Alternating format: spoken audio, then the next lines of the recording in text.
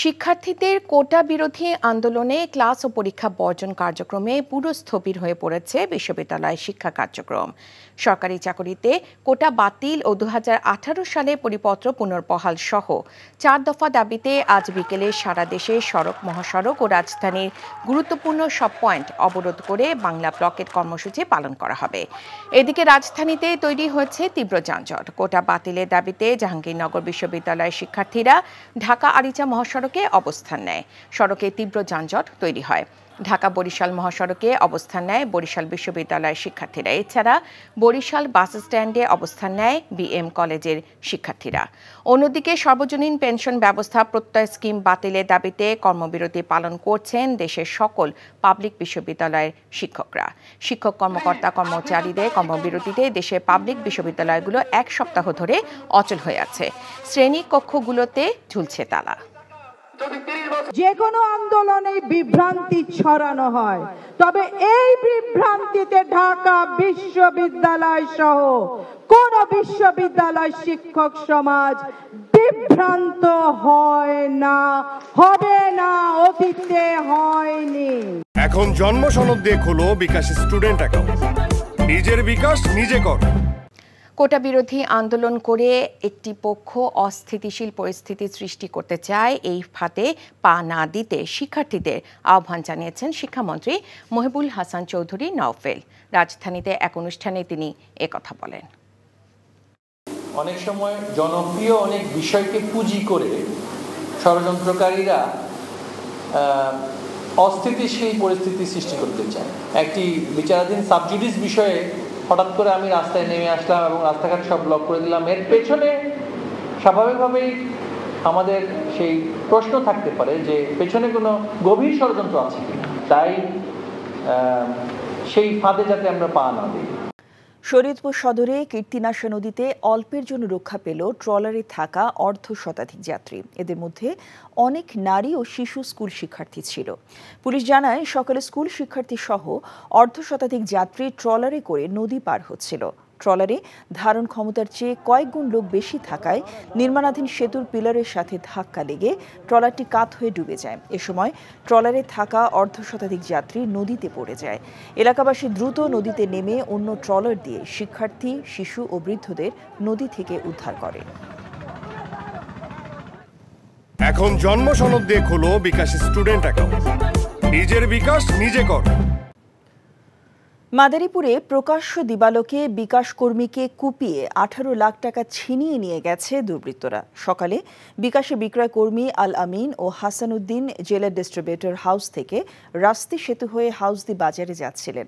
এ সময় দুইটি মোটরসাইকেল এসে দুর্বৃত্তরা তাদের গতিরোধ করে। আল আমিন মোবাইল বের করলে তাকে কুপিয়ে জখম করে আর হাসান উদ্দিন দৌড়ে পালিয়ে নিজেকে রক্ষা করে। স্থানীয়রা আল আমিনকে উদ্ধার করে সদর হাসপাতালে নিয়ে যায়। এ সময় তাদের সাথে থাকা আঠারো লাখ টাকা ছিনতাই করে নিয়ে যায় দুর্বৃত্তরা। ঝালুকাঠের রাজাপুরের সাতুরিয়া সরকারি প্রাথমিক বিদ্যালয়ের পঞ্চম শ্রেণির একটি কক্ষে পলেস্তরা ধসে পাঁচ শিক্ষার্থী আহত হয়েছে। আতঙ্কে শিক্ষার্থীদের ক্লাস বর্জন করেছে। আহত শিক্ষার্থীরা জানায়, বিদ্যালয়টিতে আগে থেকে শ্রেণীকক্ষে পলেস্তরা খসে পড়ত। সকালে ক্লাস চলাকালীন সময় পৌনে এগারোটার দিকে হঠাৎ বিকট শব্দে ভীমসহ পলেস্তরা ধসে পড়ে। শিক্ষার্থীদের মাথায় পলেস্তরা পড়ে আহত হয়। এই ঘটনার পর শিক্ষার্থীদের মধ্যে আতঙ্ক ছড়িয়ে পড়ে।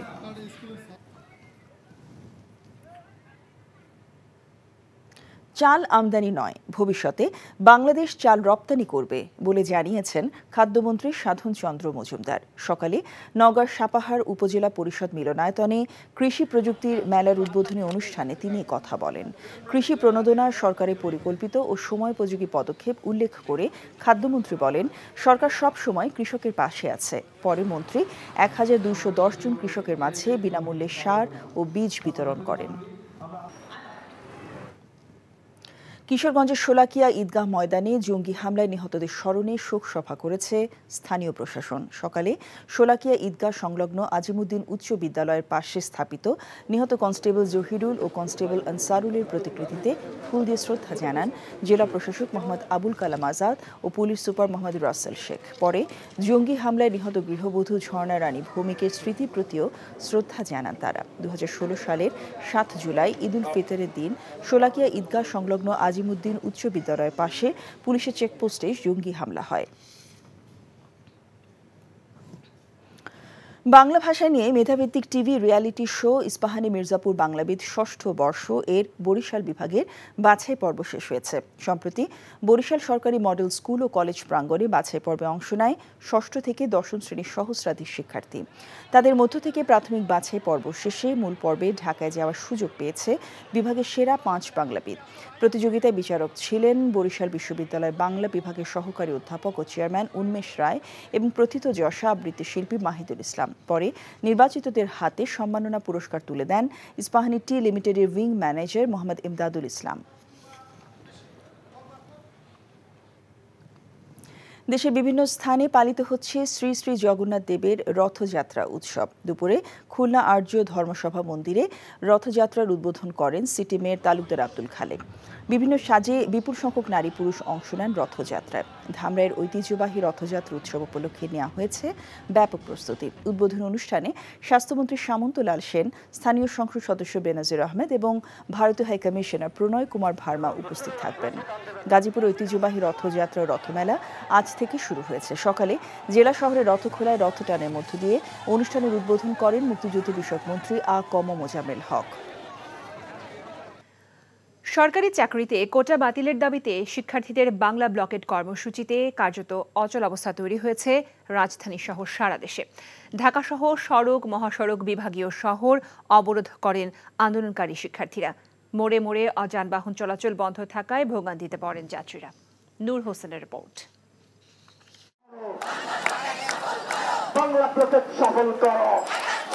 স্লোগানে স্লোগানে উত্তাল নগর মহানগর। সরকারি চাকরিতে কোটা বাতিলের দাবিতে ঢাকা বিশ্ববিদ্যালয়ের শিক্ষার্থীরা আন্দোলনের ডাক দেন। তাদের ডাকে সাড়া দিয়ে জগন্নাথ বিশ্ববিদ্যালয়, ইডেন মহিলা college, Dhaka college, city college, Sher-e Bangla কৃষি বিশ্ববিদ্যালয়, সরকারি তিতুমির কলেজের শিক্ষার্থীরা কর্মসূচিতে অংশ নেয়।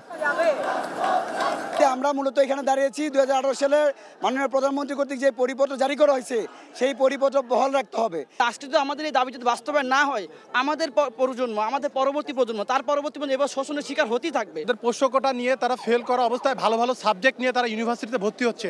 এটা একটা দারুণ বৈষম্য এই বৈষম্য কখনোই মানা যায় না। ঢাকার যেসব এলাকা দিয়ে অনেক পথে যান চলাচল করে সেসব স্থানগুলো আটকে দেয় শিক্ষার্থীরা। শাহবাগ চত্বর যেন পরিণত হয় আন্দোলনের কেন্দ্রবিন্দুতে। যখন প্রধানমন্ত্রী শেখ বলছেন যে তোমাদের কথাটাই তো বাতিল করেছিলাম তাহলে কথাটা কি ঠিক হলো? আমরা তো সংস্কারের করেছিলাম। আমরা বলেছিলাম যে সব বাতিল করে দেন মুক্তিযুদ্ধের চুয়ান্ন বছর পরে এসেও এরকম বৈষম্য কেন? আমরা এই বৈষম্য নিপাত চাই। আমরা চাই সারা বাংলার যত মেধাবী ছাত্রছাত্রী আছে, সবাই সমান সুযোগ সুবিধা প্রাক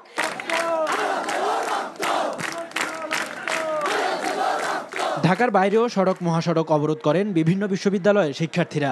জাহাঙ্গীরনগর বিশ্ববিদ্যালয় শিক্ষার্থীরা ঢাকা আরিচা মহাসড়ক অবরোধ করেন। তীব্র যানজটে নাকাল হন দূরপাল্লার যাত্রীরা। বরিশাল ঢাকা মহাসড়ক অবরোধ করে বিক্ষোভ করেন বরিশাল বিশ্ববিদ্যালয় শিক্ষার্থীরা। বিক্ষোভ হয়েছে রাজশাহী বিশ্ববিদ্যালয়েও। সেখানে কোটা বাতিলের দাবি করেন আন্দোলনকারীরা। এছাড়া কোটা বাতিলের দাবিতে দেশের অন্যান্য স্থানেও শিক্ষার্থীরা অবরোধ করেন। Nur Hossain, NTV news, Dhaka. এ বিষয়ে আমরা জানতে সরাসরি চলে যাচ্ছি রাজধানী শাহবাগ এলাকায়। সেখানে আছেন স্পেশাল করেসপন্ডেন্ট হাসান জাভেদ জাভেদ আন্দোলনের সব শেষ কি খবর আছে আপনার কাছে? লোপা গত কয়েকদিন ধরে কিন্তু কোটা বিরোধী শিক্ষার্থীদের যে আন্দোলন তারা যে সরকারি চাকরিতে প্রথম এবং দ্বিতীয় শ্রেণীতে কোটা যে বাতিল করতে হবে, সেই কোটা বাতিলের পক্ষে তারা আন্দোলন করে যাচ্ছেন। আজকেও কিন্তু তারা সারা দেশে ঢাকাসহ আন্দোলন করছেন এবং আজকের আন্দোলনের নাম দিয়েছেন তারা বাংলা ব্লকেট। অর্থাৎ অনেক জায়গায় তারা ব্লক করে ফেলেছেন। বিশেষ করে দুপুরের পর থেকে রাজধানীর অনেক জায়গায় তারা খণ্ড খণ্ড মিছিল নিয়ে সেই জায়গাগুলি তারা ব্লক করেছেন এবং গাড়ি, যানবাহন কোনো কিছু চলাচল করে না। মানুষের দুর্ভোগও কিন্তু কিছুটা হয়েছে। তবে তারা কিন্তু যারা হসপিটালে গিয়েছেন, ডাক্তার দেখাতে যাচ্ছেন, এইরকম পেশেন্ট অ্যাম্বুলেন্স তাদেরকে যেতে দিয়েছেন এবং অনেক জায়গায় আবার দেখেছি মানুষের দুর্ভোগ, অনেকে খেপেও গিয়েছেন তাদের এই আন্দোলনটা দেখে। বলেছেন যে তারা আন্দোলন করবে সচিবালয়ে গিয়ে কথা বলতে পারে প্রধানমন্ত্রীর কার্যালয়ে যেতে পারে, কিন্তু রাস্তাঘাট সব বন্ধ করে দিয়ে এই ধরনের আন্দোলন মানুষের কিন্তু দুর্ভোগ হচ্ছে এবং তারা বলছেন তাদের যারা আন্দোলন করছেন, তারা আবার বলছেন যে তাদের যৌক্তিক দাবি, তারা এটা যে কোটা রাখা যাবে না। মেধা দিয়ে সব কিছু মূল্যায়ন করতে হবে এবং কোটার বিরুদ্ধে তাদের যে অবস্থান, সেই অবস্থানের একটি সুরাহা না হওয়া পর্যন্ত তারা আন্দোলন সংগ্রাম চালিয়ে যাবেন। এই মুহূর্তে তারা কিন্তু শাহবাগে অবস্থান নিয়ে আন্দোলন কর্মসূচি চালিয়ে যাচ্ছেন, বক্তব্য দিচ্ছেন ব্যাখ্যা বিশ্লেষণ করছেন সবাইকে। শিক্ষার্থীদেরকে ঐক্যবদ্ধভাবে সারা দেশে এই আন্দোলন নিয়মতান্ত্রিকভাবে সুন্দরভাবে যাতে কোনো বিশৃঙ্খল পরিবেশ সৃষ্টি না হয়, সেই সেই ব্যবস্থা নিয়ে তারা যেন আন্দোলনটা করেন সেই আহ্বান জানাচ্ছেন এবং রাত আটটায় তারা একটি ঘোষণার মধ্য দিয়ে আজকের কর্মসূচি হয়তো শেষ করবেন, পরবর্তী কর্মসূচি জানাবেন। লোপা, এখনও কিন্তু কর্মসূচি চলছে শাহবাগে। জানছিলাম শিক্ষার্থীদের আন্দোলনের খবর। কোটা বিরোধী বিক্ষোভে সড়ক অবরোধ রাখায় রাজধানীর বিভিন্ন পথে ভোগান্তিতে পড়েন সাধারণ মানুষ। তীব্র যানজটে বিভিন্ন সড়কে গাড়ি আটকে থাকে ঘণ্টার পর ঘণ্টা কাজ শেষে বাড়ি ফেরার পথে অনেকে গাড়ি না পেয়ে হেঁটে যান। হাসান মাহমুদের রিপোর্ট।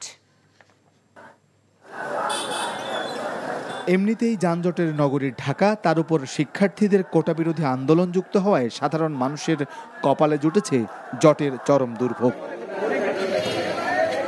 রাজধানীর গুরুত্বপূর্ণ পয়েন্ট শাহবাগ মোড় শিক্ষার্থীরা অবরোধ করে রাখায় সায়েন্স ল্যাব মৎস্য ভবন ফার্মগেট এলাকায় সৃষ্টি হয় তীব্র যানজট।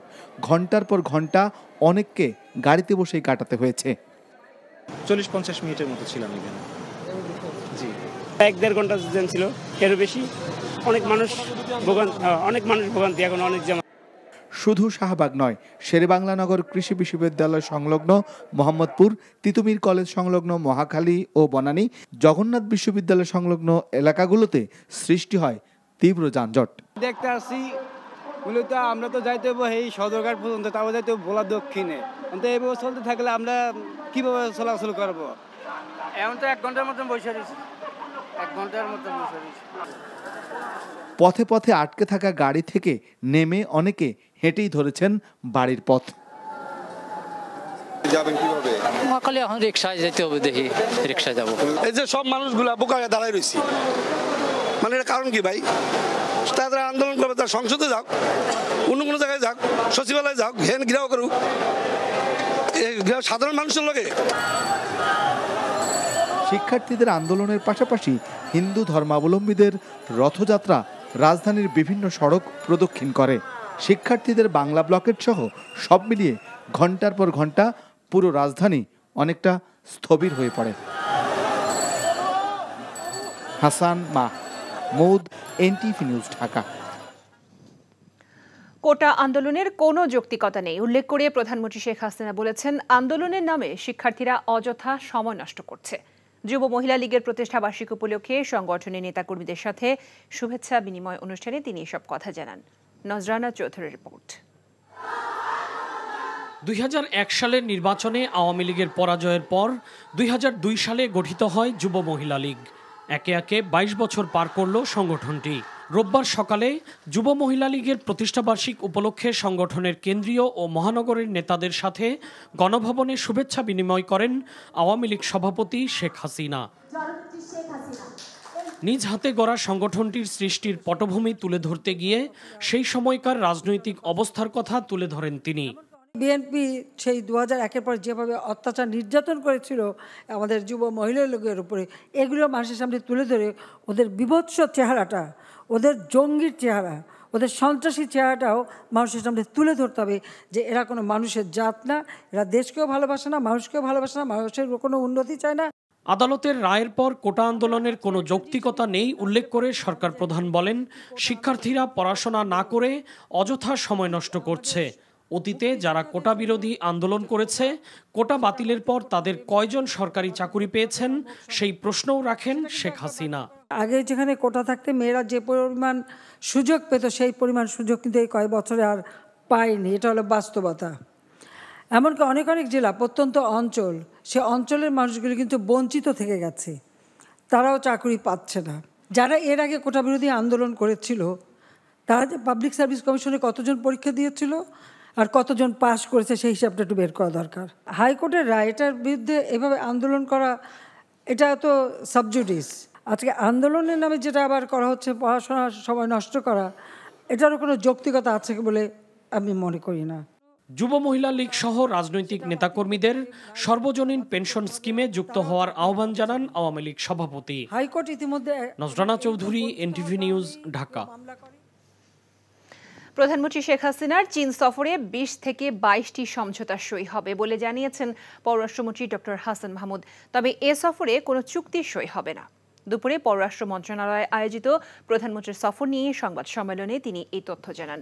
মন্ত্রী বলেন, চীনের সঙ্গে অর্থনৈতিক ও ব্যাংকিং খাত, অবকাঠামো, উন্নয়ন সহ বেশ কিছু বিষয় গুরুত্ব পাবে। আলোচনা হবে রোহিঙ্গা সংকট নিয়েও। তামজিৎ সুমনের রিপোর্ট। আট থেকে এগারো জুলাই চীন সফর করবেন প্রধানমন্ত্রী শেখ হাসিনা। এই সফরে ঢাকা বেইজিং দ্বিপক্ষীয় সম্পর্কের নতুন কি মাত্রা যুক্ত হয় এবং চীনের বৈশ্বিক রাজনৈতিক স্বার্থে বাংলাদেশ কীভাবে যুক্ত হবে সেই বিষয়টি দৃষ্টি রয়েছে অনেকের। প্রধানমন্ত্রীর চীন সফর নিয়ে সংবাদ সম্মেলন করেন পররাষ্ট্রমন্ত্রী ডক্টর হাসান মাহমুদ। মন্ত্রী বলেন, কোনো চুক্তি না হলেও এই সফরে বিশ বাইশটি সমঝোতা স্মারক স্বাক্ষর হবে। আর সবচেয়ে বেশি গুরুত্ব পাবে অবকাঠামোগত উন্নয়ন ও বাণিজ্য এবং বিনিয়োগ। দেশের সরকার প্রধানের উপস্থিতিতে প্রায় বিশ থেকে বাইশটি এমওইউ স্বাক্ষরিত হওয়ার কথা রয়েছে। অর্থনৈতিক ও ব্যাংকিং খাত, বাণিজ্য বিনিয়োগ খাত, ডিজিটাল ইকোনমি, অবকাঠামোগত উন্নয়ন, দুর্যোগ ব্যবস্থাপনা প্রভৃতি খাতে সহায়তা, পিপল টু পিপল কানেক্টিভিটি প্রভৃতি বিষয়ে সমঝোতা স্মারক স্বাক্ষরের কথা রয়েছে। বাংলাদেশে আশ্রিত রোহিঙ্গা প্রত্যাবর্তনের বিষয়ে বাংলাদেশ চীনের সহায়তা কামনা করেছে এবং এই সফরেও কামনা করবে। মন্ত্রী বলেন চীন চাইলে তিস্তা প্রকল্পে তাদের সাথে আলোচনা হবে। তবে তিস্তা নদী যেহেতু ভারত বাংলাদেশের অভিন্ন নদী এক্ষেত্রে ভারতের প্রস্তাবকে আগে বিবেচনা করা হবে বলেও জানান মন্ত্রী। এখন তিস্তা নদী ভারত এবং বাংলাদেশের যৌথ নদী। যার সাথে আমাদের সেই যৌথ নদী তাদের প্রস্তাব আছে। সুতরাং আমাদেরকে প্রথমে সেই প্রস্তাবটা বিবেচনা করতে হবে। এর আগে দু হাজার উনিশ সালের জুলাই মাসে প্রধানমন্ত্রী শেখ হাসিনা চীন সফরে গিয়েছিলেন। পাঁচ বছর পর আবারও চীন সফর করছেন তিনি। Tamjid Sumon, NTV news, Dhaka. Teesta প্রকল্পে ভারত ও চীন একসঙ্গে কাজ করতে রাজি বলে জানিয়েছেন দুর্যোগ ব্যবস্থাপনা ও ত্রাণ প্রতিমন্ত্রী মহিবুর রহমান। দুপুরে সচিবালয়ে দেশের বিভিন্ন স্থানে সৃষ্ট বন্যা পরিস্থিতি নিয়ে আন্ত মন্ত্রণালয় সভা শেষে সাংবাদিকদের প্রশ্নের জবাবে কথা জানান তিনি। এখন পর্যন্ত বন্যা দুর্গত আঠারোটি জেলায় একুশ হাজার সাতশো মেট্রিক টন চাল নগদ পাঁচ কোটি সাতচল্লিশ লাখ টাকা, পঁয়ষট্টি হাজার পাঁচশো প্যাকেট শুকনো ও অন্যান্য খাবার এবং গোখাদ্য বাবদ চল্লিশ লাখ ও শিশু খাদ্যের জন্য চল্লিশ লাখ টাকা বরাদ্দ দেওয়া হয়েছে বলে জানান প্রতিমন্ত্রী। এখন পর্যন্ত প্রাপ্ত তথ্য অনুযায়ী আঠারোটি জেলায় ক্ষতিগ্রস্ত মানুষের সংখ্যা প্রায় বিশ লাখ বলেও জানান মহিবুর রহমান। তাদের পুনর্বাসন সহ ঘূর্ণিঝড় রেমালের ক্ষয়ক্ষতি কাটিয়ে উঠতেও সব ধরনের পদক্ষেপ নেওয়া হয়েছে। সরকারের সহযোগিতা অব্যাহত আছে বলে এ সময় তিনি জানান। সর্বজনীন পেনশন ব্যবস্থায় প্রত্যয় স্কিম বাতিলের দাবিতে আজও কর্মবিরতি পালন করেছেন দেশের সব পাবলিক বিশ্ববিদ্যালয়ের শিক্ষকরা। বিশ্ববিদ্যালয়ের ক্লাস পরীক্ষা সহ দাপ্তরিক সব কার্যক্রম থেকে নিজেদের বিরত রাখছেন তারা। শিক্ষক, কর্মকর্তা, কর্মচারীদের কর্মবিরতিতে দেশের পাবলিক বিশ্ববিদ্যালয়গুলো এক সপ্তাহ ধরে অচলাবস্থা বিরাজ করছে। শ্রেণি কক্ষগুলোতে ঝুলছে তালা। ঢাকা বিশ্ববিদ্যালয় ক্যাম্পাস এলাকায় অবস্থান নেয় শিক্ষার শিক্ষকরা। এ সময় শিক্ষক নেতারা সরকার ঘোষিত প্রত্যয় স্কিম বৈষম্যমূলক দাবি করে বলেন, এই স্কিমের আওতায় এনে তাদের জিম্মি করা হচ্ছে। যে কোনো আন্দোলনে বিভ্রান্তি ছড়ানো হয়। তবে এই বিভ্রান্তিতে ঢাকা বিশ্ববিদ্যালয় সহ কোন বিশ্ববিদ্যালয় শিক্ষক সমাজ বিভ্রান্ত হয় না, হবে না, অতীতে হয়নি। যথাযথ প্রস্তুতি এবং শিক্ষক, অভিভাবক সহ বিশেষজ্ঞদের পরামর্শ ছাড়াই প্রয়োগ করা হয়েছে নতুন শিক্ষাক্রমের মূল্যায়ন পদ্ধতি। এমন অভিযোগ শিক্ষাবিদদের। তারা বলেন, শিক্ষানীতি নিয়ে অবহেলা এবং সমন্বয়হীনতার জন্য ধোঁয়াশা তৈরি হয়েছে মূল্যায়ন পদ্ধতি নিয়ে। আর জাতীয় শিক্ষাক্রম ও পাঠ্যপুস্তক বোর্ডের দাবি, যুগের সাথে তাল মিলিয়ে তৈরি করা হয়েছে নতুন কারিকুলাম। শফি মাহমুদ সাগরের রিপোর্ট। নানা আলোচনা সমালোচনার মধ্য দিয়ে যাত্রা শুরু হয়েছিল প্রাথমিক ও মাধ্যমিকের নতুন শিক্ষাক্রমের। গত বছর প্রথম, ষষ্ঠ ও সপ্তম শ্রেণীতে বাস্তবায়নের পর এবছর তা দ্বিতীয়, তৃতীয়, অষ্টম ও নবম শ্রেণীতে প্রয়োগ করা হয়েছে। যা পর্যায়ক্রমে বাস্তবায়ন করা হবে মাধ্যমিক ও উচ্চ মাধ্যমিকের সকল শ্রেণীতে। মূল্যায়ন পদ্ধতিতে পঁয়ষট্টি শতাংশ লিখিত এবং পঁয়ত্রিশ শতাংশ রাখা হয়েছে কার্যক্রম ভিত্তিক। নাম্বারিংয়ের বদলে থাকছে সাত স্তরের মূল্যায়ন। শিক্ষকরা বলছেন মেধা বিকাশে নতুন মূল্যায়ন পদ্ধতি সহায়ক হলেও পর্যাপ্ত প্রশিক্ষণের অভাব অবকাঠামোগত দুর্বলতার কারণে তা বাস্তবায়ন করা কঠিন। দাবি জানান পাঠ্যপুস্তকে সংশোধনী আনার। পাঠ্যপুস্তকটা কতটুকু সমৃদ্ধ? এটা আসলে আমাদের ভেবে দেখা দরকার। কারিকুলামটা সম্পূর্ণ নতুন। এখন শিক্ষার্থীর বুঝতে একটু কষ্ট হচ্ছে এবং আমাদের শিক্ষা শিক্ষকদের পর্যাপ্ত ট্রেনিংয়ের অভাবের কারণে এরাও সঠিকভাবে জিনিসটা মানে পুরোপুরি আয়ত্ত করতে পার- পারেনি। আমাদের মধ্যে একটা জিনিস অস্পষ্ট সেটি হচ্ছে এটার শেষ পর্যায়ে এই ধারণাগুলো কিন্তু দিনে দিন স্পষ্ট করা হচ্ছে। আমাদের স্কুলে এমনও কিছু শিক্ষার্থী আছে যাদের হয়তো বা একটাই মোবাইল তাও হয়তো বা ম্যানুয়াল মোবাইল কিন্তু সেটা দিয়ে আসলেই আমাদের যে নতুন শিক্ষা কারিকুলামের কার্যক্রম বা অ্যাক্টিভিটিস সেটা সম্ভব হয়ে ওঠে না। বিশেষজ্ঞরা বলেন মূল্যায়ন পদ্ধতির আমূল পরিবর্তন দুর্বল করবে শিক্ষা ব্যবস্থাকে। পরামর্শ দেন শিক্ষা খাতে পর্যাপ্ত বাজেট বরাদ্দ করে সক্ষমতা অনুযায়ী শিক্ষাক্রম সংশোধনের। সবার আগে দরকার ছিল সার্বিক প্রস্তুতি। সার্বিক প্রস্তুতি নিয়ে আপনার সেই বাজেট বরাদ্দ থেকে শুরু করে টিচার নিয়োগ দিয়ে পর্যাপ্ত একটা স্কুলের পর্যাপ্ত শিক্ষকই নাই। শিক্ষক থাকার কথা ছয়জন আছে, তিনজন, অথবা দুইজন। এখন কীভাবে তারা কি করবে? পরীক্ষা নিরীক্ষা চূড়ান্ত করে এরপর আপনাকে এক্সপেরিমেন্ট করতে হয়। অথচ আমরা দেখেছি যে নামকা ওয়াস্তে দু একটা জায়গায় পাইলটিং করেছে, মূল্যায়ন করেছে, করে এরপর এটা কোটি কোটি বাচ্চার উপরে চাপিয়ে দিল। অন্যদিকে শিক্ষার্থীদের মুখস্থ বিদ্যা থেকে সরিয়ে এনে বাস্তবিক জ্ঞান অর্জন এবং চতুর্থ শিল্প বিপ্লবের উপযোগী করে নতুন কারিকুলাম করা হয়েছে। বলছে এনসিটিভি। অবকাঠামোগত উন্নয়নে আমরা যত টাকা ব্যয় করেছি, আমার শিক্ষকের উন্নয়নের জন্য, শিক্ষকের প্রাপ্তি, তার বেতন, ভাতা, এগুলোর পেছনে সেই টাকা ব্যয় করিনি। আমাদের চারপাশের দেশগুলোর তুলনায় বাংলাদেশের সেকেন্ডারি লেভেলে লার্নিং লস অনেক কম। এবং সেই জায়গা থেকে আমাদের কাছে মনে হয়েছে যে আমরা যে নতুন কারিকুলাম অ্যাপ্রোচে যাচ্ছি সেটা আমার শিক্ষার্থীদের জন্য খুবই উপযোগী এবং তারা উৎসাহ উদ্দীপনার সঙ্গে অত্যন্ত আনন্দের সাথে শিক্ষা গ্রহণ করবার একটা সুযোগ পাচ্ছে। এনসিটিভির চেয়ারম্যান জানান নতুন কারিকুলামে অভ্যস্ত হতে কিছুটা সময় লাগবে। Shafi Mahmud Sagar NTV news Dhaka. সরকার বিরোধী আন্দোলন বেগবান করতে জোরালো ভূমিকা রাখতে চায় ঢাকা মহানগর বিএনপির নতুন নেতৃত্ব। উত্তর ও দক্ষিণের নতুন কমিটির নেতারা বলেছেন, দলের হাইকমান্ডের আস্থার প্রতিদান দিতে তারা চান, ঘোচাতে চান অতীতের ব্যর্থতা। ইমরুল আহসানের রিপোর্ট। অপেক্ষাকৃত তরুণদের প্রাধান্য দিয়ে রোববার ঘোষণা করা হয় ঢাকা, চট্টগ্রাম ও বরিশাল মহানগর বিএনপির কমিটি। বিকালে নয়াপল্টনের নেতাকর্মীদের শুভেচ্ছায় সিক্ত হন ঢাকা মহানগর উত্তর ও দক্ষিণের নতুন নেতৃত্ব। দল ঘোষিত কর্মসূচি বাস্তবায়নে অগ্রণী ভূমিকা রাখার প্রত্যয় ব্যক্ত করেন তারা। ঢাকাবাসীকে একত্রিত করে ক্ষমতা থেকে নামিয়ে বাংলাদেশে গণতন্ত্র প্রতিষ্ঠা করব এবং বাংলাদেশে জনগণকে মুক্ত করব, তারেক রহমানকে দেশের মাটিতে ফিরে আনব, এটাই হলো আজকের দিনে আমাদের মূল প্রত্যয়। কে দল যে দায়িত্ব দিয়েছেন, সেজন্য আমি দলের চেয়ারম্যান দেশনাথ বেগম খালেদা জিয়া এবং ভারপ্রাপ্ত চেয়ারম্যান দেশনায়ক তারেক রহমানকে অভিনন্দন জানাচ্ছি। বেগম জিয়াকে মুক্ত করব, ভোটাধিকার ফিরিয়ে দিব দেশকে একটি সুন্দর বাংলাদেশ হিসেবে জনগণকে উপহার দিব সেই কাজে আমরা ইনশাল্লাহ করব। ঢাকায় কার্যকরী আন্দোলন গড়ে না ওঠায় আন্দোলনের ফসল ঘরে তোলা যায়নি এমন উপলব্ধি আছে খোদ দলের ভেতরেই। মহানগরীর নতুন কমিটির নেতারা বলছেন অতীত থেকে শিক্ষা নিতে চান তারা। আমরা সাংগঠনিকভাবে আমাদের যে বিগত সময়ে যেই সব জায়গাগুলিতে আমাদের ল্যাকিংস রয়েছে, আমরা দেখেছি দৃশ্যমান, সেই জায়গাগুলি আমরা পরিপূর্ণ করে কোনো দুর্বলতা আমরা রাখব না ইনশাল্লাহ আমাদের লক্ষ্য একটি, বাংলাদেশের জনগণের ভোটের অধিকার নিশ্চিত করা এবং বাংলাদেশের মাটিতে একটি অবাধ সুষ্ঠু নির্বাচনের মাধ্যমে জনগণের সরকার প্রতিষ্ঠা করা। এদিকে হিন্দু, বৌদ্ধ, খ্রিস্টান কল্যাণ ফ্রন্টের ঢাকা মহানগরীর সম্মেলনে রিজবি আহমেদ অভিযোগ করেন সরকারের প্রশ্রয়ে দুর্নীতি করছে পুলিশ ও আমলারা। সরকারি কর্মকর্তা কর্মচারী যারা আপনার মোসাহেবি করেছে তাদেরকে আপনার লেসেন্স ফেয়ার অবাধে লুটপাটের দুর্নীতি করার সুযোগ করে দিয়েছে। দুর্নীতি শুধু দুর্নীতির শব্দে নয় ওটা মহাদুর্নীতি বলে মানুষ আজকের আজকাল আখ্যায়িত করছে। ভারত আওয়ামী লীগ সরকারকে টিকিয়ে রেখেছে বলে মন্তব্য করেন তিনি। Imrul Hasan NTV news Dhaka. মন্ত্রী সচিব সহ মন্ত্রণালয়ের কর্মকর্তারা সৎ থাকলে দুর্নীতি হবার সুযোগ কম। জানিয়ে সড়ক পরিবহন ও সেতুমন্ত্রী ওবায়দুল কাদের বলেছেন, দুর্নীতির জন্য যে মূল্য দিতে হয় তা সরকারের জন্য দুর্ভাগ্যের। সকালে সচিবালয়ের সড়ক পরিবহন ও মহাসড়ক বিভাগের কর্মকর্তা কর্মচারীদের শুদ্ধাচার পুরস্কার প্রদান অনুষ্ঠানে তিনি এসব কথা বলেন। দুর্নীতি বেপরোয়া গতিতে বিস্তার লাভ করে আর অনেকে ধরা ধরা পড়ে বলেও জানান মন্ত্রী।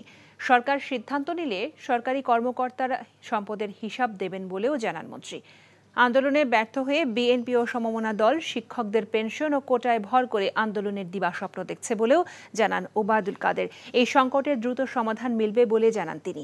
সম্প্রতি মেঘনা, গোমতী ও কাঁচপুর তিন সেতু নির্মাণে এক হাজার একশো কোটি টাকার সাশ্রয় হয়েছে জানিয়ে ওবায়দুল কাদের বলেন, মেগা প্রজেক্টে এখন মেগা দুর্নীতি নয়, মেগা সাশ্রয় হয়। মন্ত্রী সচিব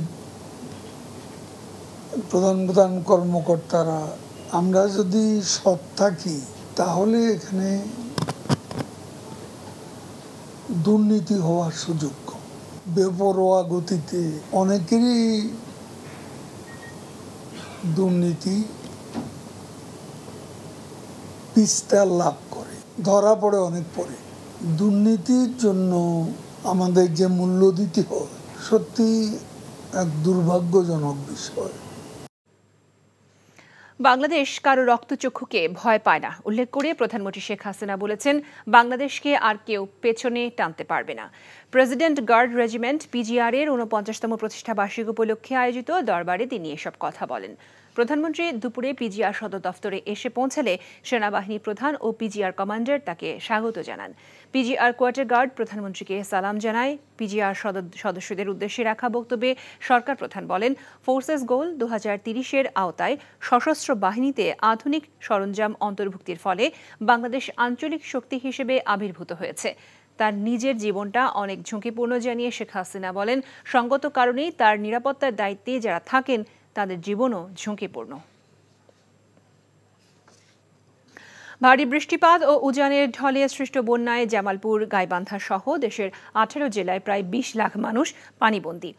এএফপি সহ আন্তর্জাতিক গণমাধ্যমের তথ্য অনুযায়ী এ পর্যন্ত মৃত্যু হয়েছে আট জনের। প্রতিদিনই প্লাবিত হচ্ছে নতুন নতুন এলাকা। দুর্গত অনেক এলাকায় এখনও পৌঁছানি ত্রাণ। এদিকে ছয় জেলার বন্ধ রয়েছে চার শতাধিক শিক্ষা প্রতিষ্ঠানের পাঠদান। বিস্তারিত দেখুন ডেস্ক জামালপুরের দেওয়ানগঞ্জের বাহাদুরাবাদ পয়েন্টে যমুনার পানি বিপদসীমার ওপরে পানিবন্দি দেওয়ানগঞ্জ বক্সিবাজার ইসলামপুর সহ বিভিন্ন উপজেলার পঞ্চাশটি ইউনিয়নের দুই লক্ষাধিক মানুষ। বন্ধ রয়েছে শতাধিক প্রাথমিক ও মাধ্যমিক বিদ্যালয়। তলিয়ে গেছে কয়েক হাজার হেক্টর ফসলি জমি। ডুবে আছে বিস্তীর্ণ এলাকার রাস্তাঘাট। এগারোটি আশ্রয় কেন্দ্রে অবস্থান হয়েছে কয়েক হাজার পরিবারের। গরু বাছুর ছাগল সব কিছু গেছে গা। টাং বলে ই আছে, রোমাল মাছ আছে, সব পানি তোলে। গাইবান্ধায় সার্বিক বন্যা পরিস্থিতির আরও অবনতি হয়েছে। ঘাগর ব্রহ্মপুত্র, তিস্তার পানি বিপদ সীমার উপরে। পানি ঢুকে পড়েছে সদর উপজেলার পাঁচটি ইউনিয়ন, সুন্দরগঞ্জের নয়টি ইউনিয়ন সহ বিভিন্ন উপজেলার উনত্রিশটি ইউনিয়নে। পানির সঙ্গে বসবাস অর্ধ লক্ষাধিক মানুষের। পাঠদান বন্ধ রয়েছে আশিটি শিক্ষা প্রতিষ্ঠানে। এছাড়া কুড়িগ্রাম, সিরাজগঞ্জ, রংপুর, বগুড়ায় প্লাবিত হয়েছে নতুন নতুন এলাকা। সরকারি বেসরকারি উদ্যোগে দুর্গতদের ত্রাণ সরবরাহ করা হলেও তা পর্যাপ্ত নয়, অভিযোগ বানভাসীদের। লালমনিরহাটে তিস্তার পানি বিপদসীমার কিছুটা নিচে থাকলেও ধরলার পানি বিপদসীমার ওপরে। পানির চাপ সামলাতে খুলে দেওয়া হয়েছে তিস্তা ব্যারেজের চুয়াল্লিশটি জলকপাট। প্লাবিত সদর উপজেলা পাটগ্রাম সহ কয়েক উপজেলার নিচু এলাকা। বাড়ি ঘরে এক কবর পানি গরু বাছুর নিয়ে কোথায় যাই? রাস্তাঘাট তো শোক ভাঙি ছড়ি ধরা নামিয়ে যাওয়া লাগছে। দ্বিতীয় দফা বন্যার চোদ্দ দিন পার হলেও সুনামগঞ্জ সদর সহ দশ উপজেলার পানিবন্দী অসংখ্য মানুষ। নদ নদীর পানি বৃদ্ধি ও বৃষ্টিপাত কমে গেলেও বন্যার পানি নামছে ধীর গতিতে Shawkat Karim NTV news desk. এই ছিল সন্ধ্যার খবরে। এই খবরের ভিডিও সহ আপডেট জানতে ভিজিট করুন NTV online W dot NTVBD dot com এছাড়াও এনটিভির জনপ্রিয় সব অনুষ্ঠান ও খবরের আপডেট জানতে ভিজিট করুন আমাদের ইউটিউব ও ভেরিফাইড ফেসবুক পেজ রাত সাড়ে দশটায় রাতের খবর দেখার আমন্ত্রণ জানিয়ে বিদায় নিচ্ছি। সবাইকে ধন্যবাদ। এতক্ষণ সাথে থাকার জন্য।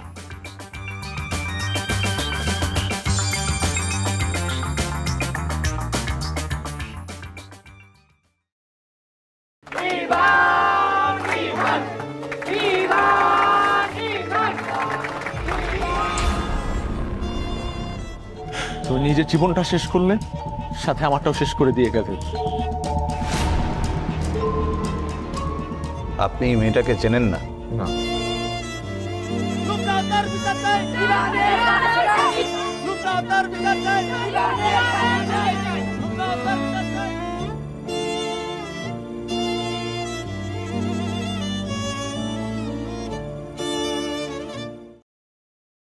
এখন জন্ম সনদ দিয়ে খোলো বিকাশ স্টুডেন্ট অ্যাকাউন্ট নিজের বিকাশ নিজে কর।